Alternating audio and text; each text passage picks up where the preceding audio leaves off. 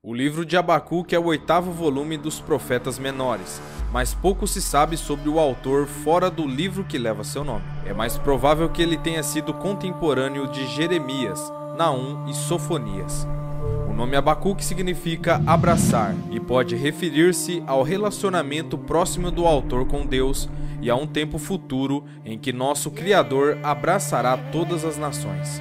As respostas de Deus às perguntas de Abacuque revelam como ele considera o pecado e suas consequências, e como a fé é fundamental para compreender nosso destino final. Então, no vídeo de hoje falaremos sobre a história do profeta Abacuque. Meu nome é Lucas Dário e sejam bem-vindos ao Testemunhando Jesus Cristo. Onde aumentou o pecado, transbordou a graça.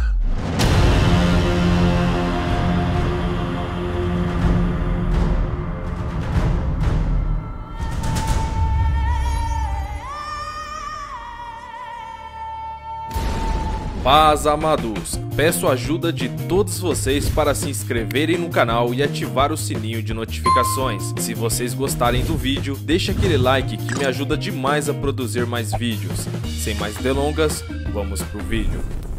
Época de Abacuque Abacuque não faz menção à Assíria, mas se refere ao crescente poder caldeu, também conhecido como babilônico. Assim, pode-se concluir que ele profetizou em Judá, possivelmente durante o reinado de Jeoiaquim e pouco antes da invasão de Nabucodonosor. Não há indicação de que as reformas implementadas por Josias ainda existam, já que ele lamenta a ilegalidade e maldade prevalecentes entre os judeus. Abacuque foi comissionado para predizer a invasão e destruição da terra pelos caldeus. O reino do norte de Israel já havia ido para o cativeiro na Assíria, e Deus iria castigar o reino do sul de Judá por meio dos babilônios. Esboço do livro de Abacuque. Até quando, Senhor, clamarei eu, e tu não me escutarás? Gritar-te-ei violência, e não salvarás porque razão me mostras a iniquidade e me fazes ver a opressão. Abacuque teve dificuldades em entender por que parecia que Deus não estava preocupado com os pecadores de Judá, mesmo que ele entendesse que Deus não estava separado da impiedade do povo, ele precisava de uma resposta. Então, veremos adiante a resposta de Deus a Abacuque. A resposta de Deus é que ele não deixaria o povo de Judá sem punição, mas levantaria os caldeus como uma vara de castigo e correção. Os caldeus eram um povo cruel e terrível, que varreria e invadiria a terra. Essa resposta de Deus levantou um dilema maior e um quebra-cabeça desconcertante para o profeta. Como um Deus santo e justo poderia punir Judá usando uma nação ainda mais perversa e injusta? A resposta de Deus para Abacuque foi fazê-lo entender que todos serão fielmente julgados com um julgamento justo. Em última análise, apenas aqueles que confiam em Deus e permanecem leais a Ele viverão. Deus punirá a arrogância, o orgulho e as más ações. Ninguém escapará da pena do mal e da impiedade.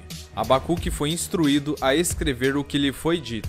A visão tinha que se tornar tão clara que uma pessoa que passasse pudesse ler as palavras. O profeta foi informado de que o cumprimento seria por um tempo determinado, ainda no futuro. Armado com a resposta de Deus e a certeza de que a maldade será punida, o profeta proferiu uma série quíntupla de desgraças contra aqueles que se opõem a Deus e às suas leis. Pelo contexto, parece que essas desgraças são dirigidas mais especificamente aos caldeus. Eles não podem escapar da lei da semeadura e da colheita, a lei universal de retribuição de Deus para aqueles que, na vaidade de suas mentes, se consideram irrepreensíveis e punidos. Nesse contexto, Abacuque registrou sete tipos de maldade encontrados nos caldeus: agressão, orgulho, cobiça, violência excessiva, idolatria, abuso de poder e ganância. Salmo de Abacuque. O profeta termina o livro com um salmo de louvor e oração. Parece que essa oração deveria ser cantada, como diz a nota em Abacuque 3, verso 19, ao músico-chefe com seus instrumentos de corda. Ao ouvir a vinda do julgamento de Deus, o profeta expressou sua preocupação e mostrou seu lado terno ao pedir a Deus que exercesse misericórdia ao aplicar seu julgamento. Ele então começou a enumerar os atos miraculosos de Deus na história passada de seu povo. A impressionante presença de Deus no Monte Sinai, a divisão do Mar Vermelho e mais tarde do Rio Jordão, permitindo aos israelitas entrar na terra prometida e sua intervenção poderosa para com os israelitas nas batalhas. Abacuque estremece com o pensamento do que ainda está para acontecer, mas nada do que acontece na terra pode remover as promessas de Deus. Veja, Todavia eu me alegrarei no Senhor, exultarei no Deus da minha salvação. O Senhor Deus é a minha força e fará os meus pés como os pés dos servos, e me fará andar sobre as minhas alturas. Abacuque foi um profeta de fé. Ele acreditava que Deus realizaria em sua vida o que fosse necessário e que mais tarde implementaria os estágios finais de seu propósito para todas as nações. Abacuque tinha a garantia de que Deus cumpriria sua promessa. Veja, porque a terra se encherá do conhecimento da glória do Senhor, como as águas cobrem o mar.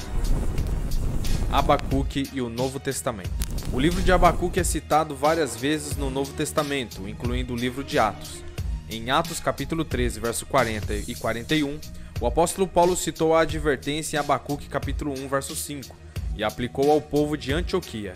É razoável concluir que a advertência que o profeta deu sob inspiração também é relevante para nós hoje. Além disso, três epístolas se referem a Abacuque capítulo 2, verso 3 e 4, para apoiar seus ensinos. Essas três passagens são: em Hebreus capítulo 10, verso 35 a 39, aplica esses versículos de Abacuque à mentalidade dos cristãos enquanto aguardam a volta de Jesus Cristo. Os verdadeiros servos de Deus precisam praticar a paciência e a perseverança a fim de ganhar sua grande recompensa. A volta de Cristo é certa, mas até esse dia amanhecer, os justos não devem recuar, mas devem viver pela fé. Em Romanos capítulo 1, verso 16 e 17, o apóstolo Paulo enfatiza que uma crença inabalável na mensagem do evangelho leva à salvação e à vida eterna depois de referir-se ao Evangelho de Cristo como o poder de Deus para a salvação de todo aquele que crê. Ele cita Abacuque capítulo 2, verso 4, para apoiar sua declaração: o justo viverá pela fé. O ponto-chave é que o justo deve viver pela fé. É vivendo fielmente na maneira de Deus que chegamos a uma maior compreensão das boas novas sobre o futuro da humanidade no reino de Deus. Em Gálatas capítulo 3, verso 11, Paulo cita a mesma passagem para explicar como os seguidores fiéis de Jesus Cristo são justificados, feitos justos aos olhos de Deus, por exercerem fé em suas vidas diárias. Quando entendemos as boas novas do reino de Deus, espera-se que nos arrependamos, abandonando nossos próprios caminhos e fazendo do reino nossa propriedade. Abacuque disse que o justo viverá pela fé. O que significa isso? A fé é a capacidade de se sentir tão seguro de Deus que, por mais tenso que esteja o dia, não haja dúvidas quanto ao resultado. Para o povo de Deus, há um futuro glorioso. Pode estar muito longe, mas é absolutamente certo. Assim, em meio à sua tristeza e desespero, Abacuque era um homem otimista. Ele mudou sua profunda aflição em esperança. Falando de sua segunda vinda à Terra, Cristo fez essa declaração surpreendente: Quando o Filho do Homem vier, encontrará realmente fé na Terra? Quando Cristo pronunciou essas palavras, ele estava olhando para um tempo futuro, para nossa geração presente. Quando o mundo estava destituído de fé, mesmo assim, sem a fé da qual Cristo falou, ninguém pode ser salvo. Em Hebreus capítulo 11, é frequentemente referido como o capítulo da fé da Bíblia. No versículo 1, a fé é definida como a substância das coisas que se esperam, a evidência das coisas que não se veem.